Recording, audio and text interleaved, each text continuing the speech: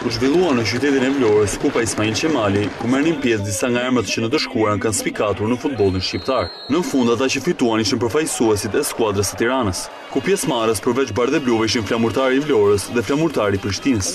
Sportdashësit vlonjatë patën mundësinë të ripërjetojnë emocionet e dikurshme ku në fushë zbritën emra të mëdhenj të futbollit si Agustin Kola, Blendi Nallbani, Afrim Tole, Saimir Patushi, Kreshnik Çipi, Rrapo Tao, Roland Iliadhi, Alfred Ferko dhe Uran Xhafa, nuk kanë munguar as ish-futbollistë të njohur nga Flamurtari i Prishtinës si Munishi, duke sjellë një aktivitet me të vërtetë shumë të veçantë, të organizuar nga ish-ylli i futbollit vlonjat Vasil Ruci dhe Universiteti Ismail Qemali. Ndeshjet u zhvilluan nga dyzet e pesë minuta ndërsa trofeun e meritoi pikërisht Tirana, që në finale mundi kosovarët e Flamurtarit të Prishtinës. Një spektakël i shoqëruar edhe me muzikë nga të gjitha trevat shqiptare. Ky eveniment i ribashkoi edhe një herë në fushën e lojës, Edhe pse pa fizikun e dikurshëm, ata që në të shkuarën, i kanë dhuruar shumë publikut shqiptar e kosovar. Atmosfera miqësore përjetohej kudo, në një aktivitet që me shumë mundësi do të përsëritet edhe vitin e ardhshëm, për t'i dhënë mundësinë publikut të rishohë protagonistët e së shkuarës.